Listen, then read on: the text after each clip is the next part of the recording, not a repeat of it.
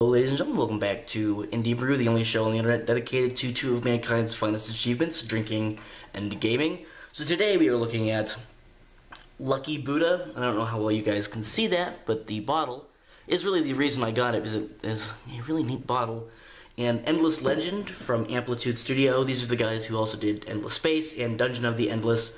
It's part of their ongoing Endless storyline. I'm not exactly sure how it all links up, but it's a 4X game, kind of like Civ or uh, Warlock or any of those kind of games. So we are going to get our pour here and get a smell. I have no idea what to expect from this. This is a Chinese beer. It was brewed at Thousand Island Lake in China, uh, and it's probably the lowest ABV we've been drink we've drank. Nice color, nice head. This is um, just shy of four, or just shy of five percent. Apologies.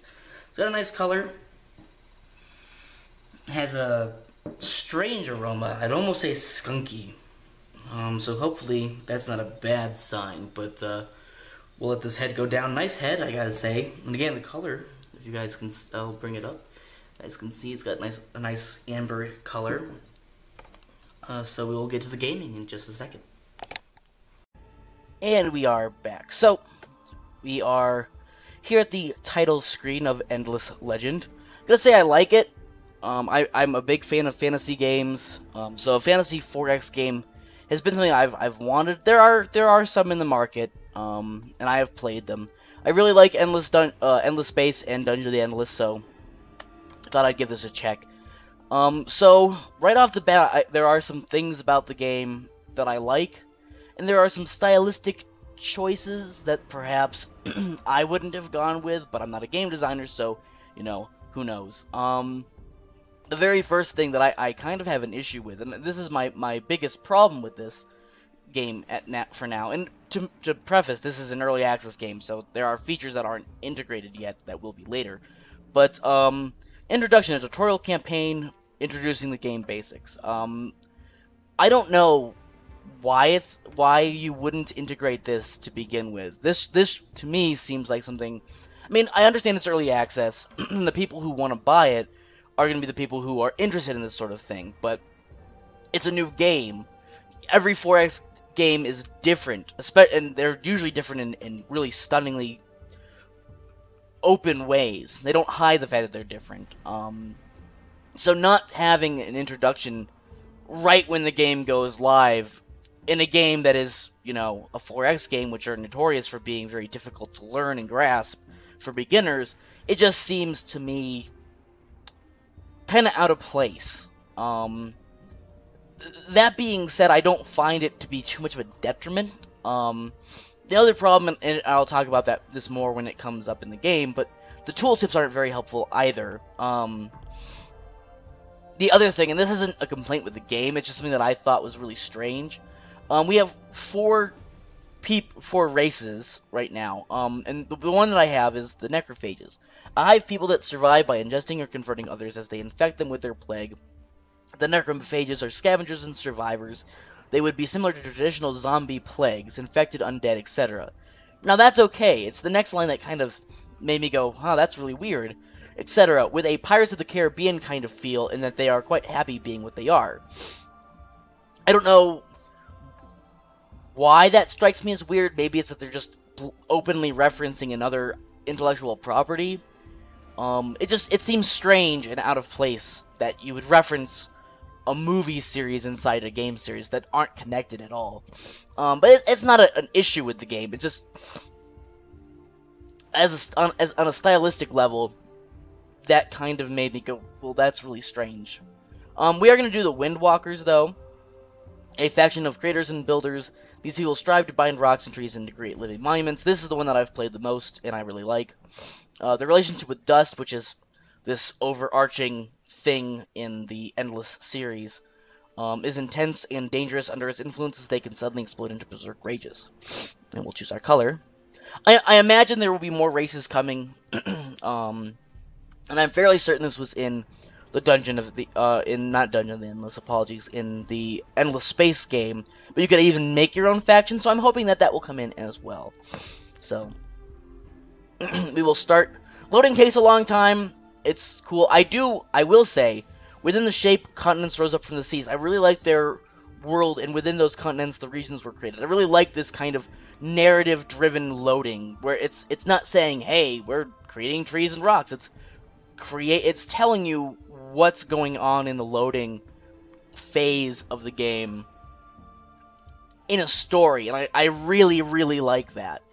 Um, I'm I'm a big stickler and a big you know I like lore and I, I like little snippets of, of lore like that. So excuse me. Um, you know that got me all all happy. So we're gonna try our beer. The loading does take a little while, and I like the loading screen. I think it's really cool.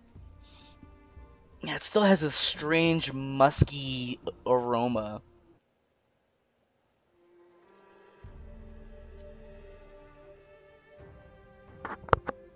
and it has a strange musky taste.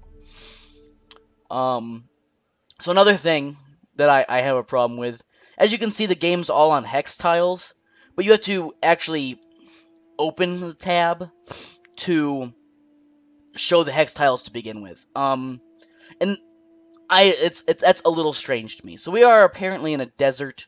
Um, WASD moves the camera. You can also just move it by you know left clicking and moving everything around. Um, so we have a hero that will walk around kind of like Fallen Enchantress. um, that's the best way I'd put this. This is Fallen Enchantress meets Civ 5. So if you're not a fan of either of those games, then I, at least for now, I'd say avoid it. But I, I really like the game. I, I've done about three hours or so off and on on my save with these guys. So I'm, I'm a fan. I really like the game. Um, but I'm a fan of, of 4X games and a fan of, you know, that sort of thing. So it's it's not breaking the mold is, is basically what I'm trying to convey here. Um, so we have our settler, which will make our first city, and it seems prudent to set him between two rivers. Um, and you can see, you know, by clicking on a hex tile, um, food. It's uh, there's these gears, and again, this is what I'm what I mean by I don't feel that the tooltips really convey a whole lot. I don't know what these symbols mean. Um, but you know, not really. And, uh, you know, it again, it's an early access game. Um, I will say I really like the terrain. I think that's re it's really pretty. Um, so I'm gonna put it between two rivers because, you know, that seems to be the best idea.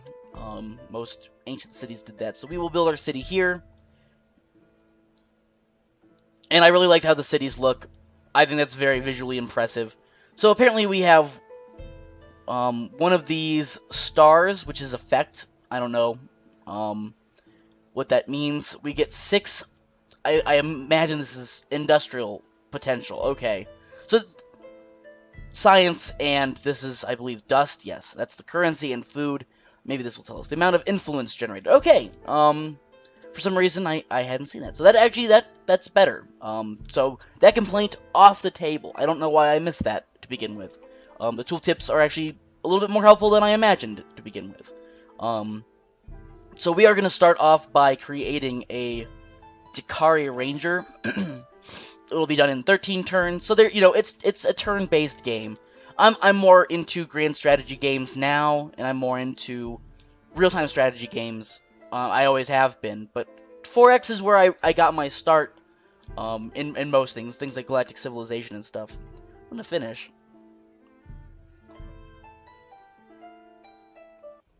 It's got a very light flavor, but there's that, that weird not quite good. I don't know how to put it. Um, I suppose that's too, that's uh, you know, just what happens when you um drink, get a beer for the glass, not the drink. Um, so we're gonna search this um this ruin here. You can see this glowing point, and we can get quests and things from that, or um, or not find anything at all. Um, so yes, we have a new quest. Um, I won't be able to finish it because I won't be able to build a settler. But one of the things that I always have a problem with 4X games is there's never enough things to do. You're always just kind of waiting. Be it, excuse me, um, for things to be done building or troop movement, what have you.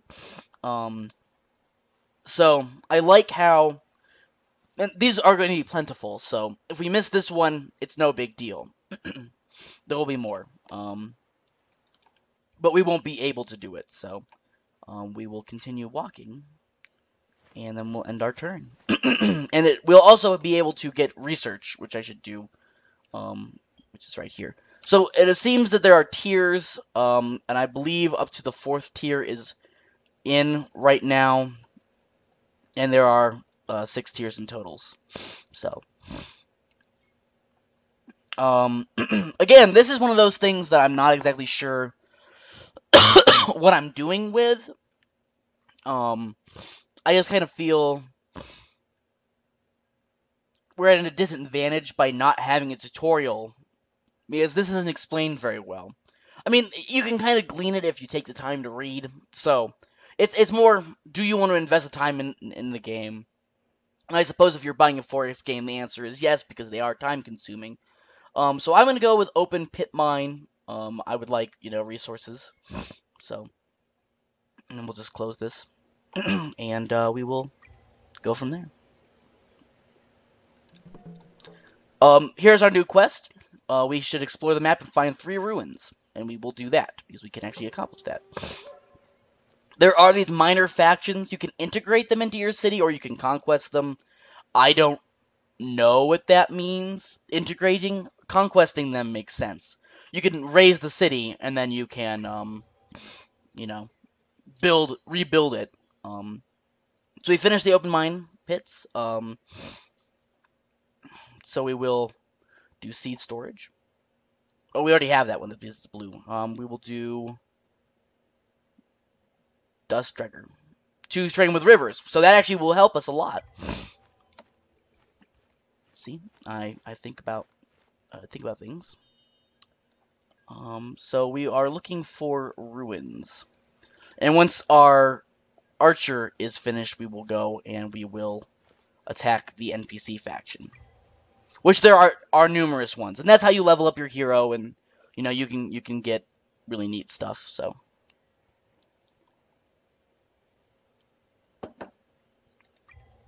Still unpleasant, as you'd imagine. It didn't get, it hasn't gotten better. Um, and we're researching very fast. Um, flooding building sites with armies of cheap labor effectively allows construction projects to be quickly completed at no cost. You can quick build, much like Civ. Um, it costs a lot of money. And we got 40 dust. That's awesome. Because that, again, that's gold, basically. Um, so we are just going to explore.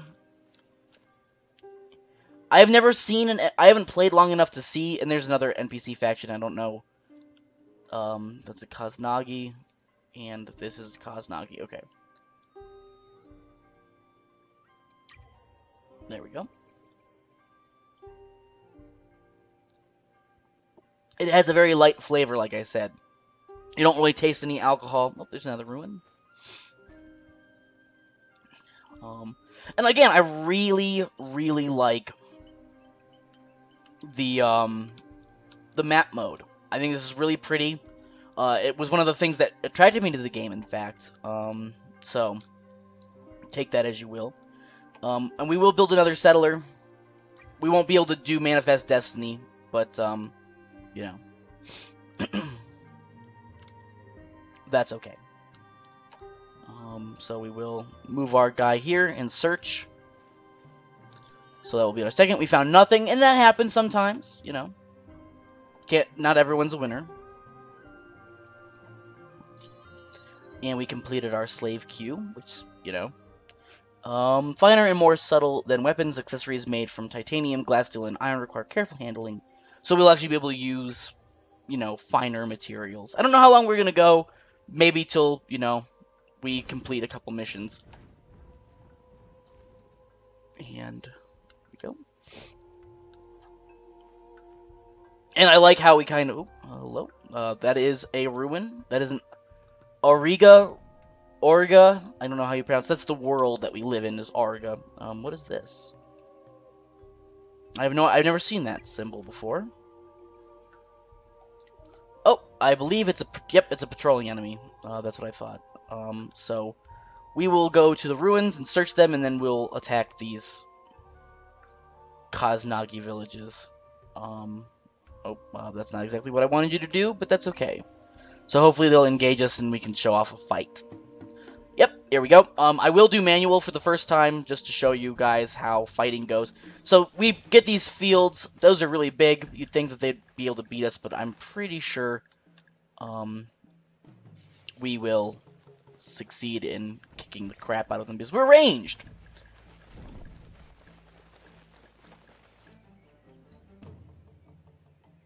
And we will launch our attack. This is why I wanted a couple. Um, who knows how much health Oh, here's their life. Right here. Uh, and it died fairly swiftly. Um, and then everyone returns, you know, to their their hex. Um, and it's it's just like that. So, awesome. And then, um, yeah, we'll come here.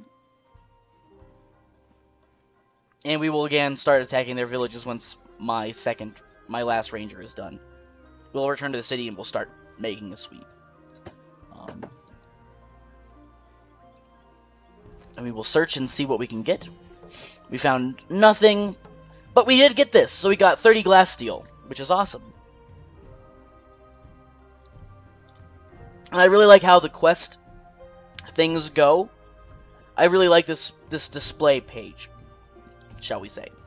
Um, so now we are told to build another city, um, which we will be doing, um, and that's probably the last thing we'll do. Um, before uh, we end this. So I will return to our village. I will pick up our ranger friend. They are going to try to attack. This is the dredge. I've never seen these things before. They're going to attack the city. It looks like so. This is the this is the first as well. We'll see if they they want to do that. Um, we can do another research. So I will complete this little hex. Um, and um, end our turn. Yep. As you can see, the dredges um, decided to um, end themselves. So, so I will move these guys out here, and there should be one more guy. And this is what I'm talking about. Um, I don't actually know how to move him out of the city. I figured it out in in the previous, um, but I I can't seem to remember how to do that. And it's not the beer because it's basically water. Um, do you want to come out? Okay. We will just end the turn then, and maybe we'll be able to move him next turn. Um, here's our settler. We can pay to, to speed it up, which I did. Um, and I guess, what's this? Um, has gained enough experience to reach level 3, so we will uh, level. We'll go to the academy, and, um, oh, uh, wrong place. Inspect. This is probably what I want to do. So yes, we can level our guy. We have stuff, as you can see. Um, I really like the Agile Mover. And I also like the Farsighted because it helps in combat. So there we go. Um, you have encountered a new minor faction, Sisters of Mercy. Cool. Very cool. And we will leave the Academy screen and we'll finish this off. Not unpleasant. I wouldn't buy it again. Luckily, it wasn't all that expensive. Um, so we will end the turn. And there we are, we have our settler. Um, construction complete. So we will build a sewer system, which will give us a lot of approval, which we want. You want to keep your citizens happy, I'd imagine, in this game. I don't know what happens when they are not happy. Because again, um, no tutorial. And again, that's the biggest sticking point. So. Oh, there we go. There we are. Okay. Um, so we will now go. I figured it out. You just click on it and then you click on a hex.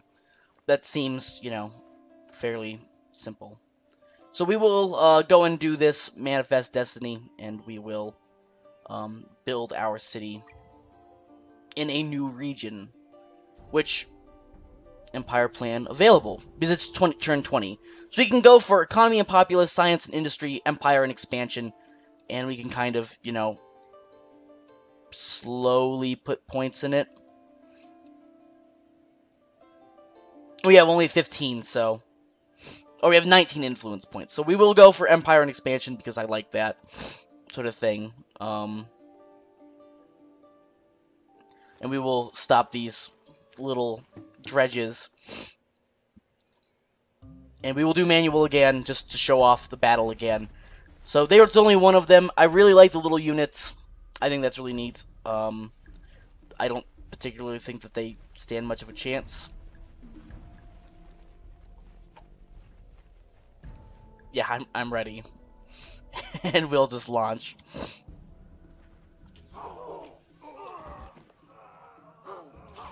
And they're dead. Oh, they're fleeing. And they're dead. I really like combat. I I think it's a really fun aspect of this, and I would love to see it more in in um other games. Um, so we will go and attack the city, and then we will go into this ice realm and uh, build a city. Um, major empire encountered. Finally, it's about time. I've this is the first time it's ever happened. Um, show location. Here they are. Hello. They also have three Drukhari Rangers. And they, they actually attacked the city. Um, which is a shame, is now we're not to be level up. And this is the Jotuns. This is one that I've actually found before. They're kind of like gnolls. I really like the, the, the minor factions. Um, it just, it gives you something more. Um, and I imagine you can build, I haven't really explored them much, again, because